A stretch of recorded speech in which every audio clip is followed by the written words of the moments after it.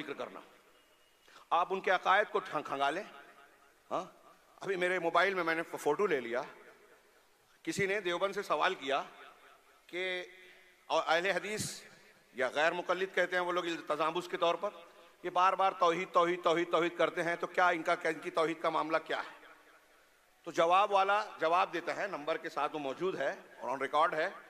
देवबंद से फतवा हुआ कि हाँ ये लोग तोहहीद की बात तो करते हैं तोहहीद बुनियाद है, लेकिन गैर मुकलद हजरात जो हैं तोहहीद के मामले में गुलू करते हैं और ऐसी कुछ चीज़ों को भी शिरक या तोहहीद के मुनाफ, मुनाफी करार देते हैं जो तोहहीद के खिलाफ नहीं है। जैसे अम्बिया कराम और बुजुर्गान और सालहीन के वास्ते से दुआ मांगना और उनके ज़रिए से बरकत हासिल करना। इन्ना व इन्ना राजियों सुन रहे हैं आप? अभी ये मौका नहीं है कि मैं उसकी तफसील बयान करूँ। कि तबर्रुक हासिल करने की क्या हैसियत है गैरुल्लाह से, जो अल्लाह रसूल ने अल्लाह के रसूल ने साहब कराम ने कहा था, ये सही हदीस है। तिरमिजी की और दूसरी, आप और हम पढ़ते हैं, बच्चों को पढ़ाया जाता है कि मुशरकिन को देखा ज़ात अनवात, अल्लाह के रसूल से साहबा ने कहा, हमारे लिए भी ज़ात अनवात बना दीजिए, बहरी कदर, जिससे हम बरकत हासिल करें। अल्लाह के रसूल ने क्या जवाब दिया था? अल्लाह अकबर इन नहा सुनन वल्लजी नफसी बेदी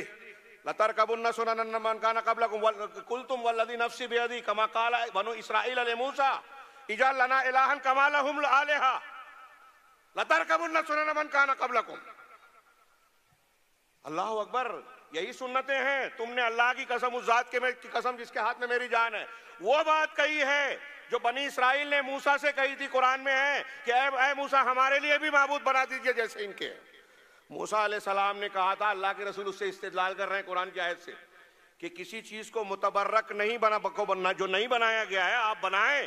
तो ऐसे ही है, जैसे बनी इसराइल ने कहा था कि हमारे लिए महबूद बना दीजिए। तुम अपने से पहलों के नक्शे कदम पर ज़रूर चलोगे। देवबंद का ये फतवा अल्लाह के रसूल को भी कहेगा कि बहुत जगुलू किया। हाँ इफरात कर रहे हैं, हद से तजावुज है कि इसको तबर्रुक को जो है, तबर्रुक हासिल करने को शिर कह रहे हैं। अब चलिए वो कहेंगे वो तो बैरी का दरख्त था। तो क्या बुज़ुर्गों से इस तरह से तबर्रुक हासिल करने की कोई दलील आपके पास है?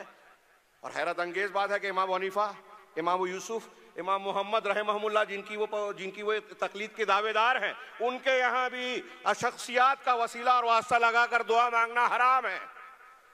मेरे भाइयों, यहाँ मेरा मकसद उनका तस्करा करके महज रद्द करना नहीं है। ये खतरनाकी और नजाकत बताना मकसूद है कि हमारे इर्द गिर्द में जो बड़े बड़े लोग मौजूद हैं, जो लोग, लोगों का मर्जा बने हुए हैं, वहाँ तोहीद और शिरक का माना और मफहूम वाजे नहीं है। गलत दावत दे रहे हैं। अब वो अल्लाह अगर कोई शिरक कर रहा है, ये मैं उस आयत के तनाजुर में जो अभी सूर्य मुमतहना की पढ़ी, ला तजिद कौमन, अगर कोई शिरक कर रहा है या शिरक का साथ दे रहा है, शिरक की तायद कर रहा है, बिदत कर रहा है, बिदत की तायद कर रहा है तो अल्लाह और उसके रसूल का दुश्मन है। उसको पेशवा नहीं बनाया जा सकता। मोहब्बत तो दूर की बात। मोहब्बत नहीं की जा सकती, पेशवा बनाना दूर की बात। उल्टा कह दिया। उनको पेशा व पेशवा बना के कोई उनके हाथ पर बैत कर रहा है, कोई उनके पीछे चल रहा है, उनकी जमात से वाबस्तगी इख्तियार कर रहा है। आज अवाम का एक बहुत बड़ा तबका है। ये अहले इल्म, अहले हक की ज़िम्मेदारी है कि उनको बाखबर करे। ना माने तो हम ये कहेंगे, अल्लाह की तौफीक से महरूम है। बहरहाल, अल्लाह रब्बुल आलमीन ने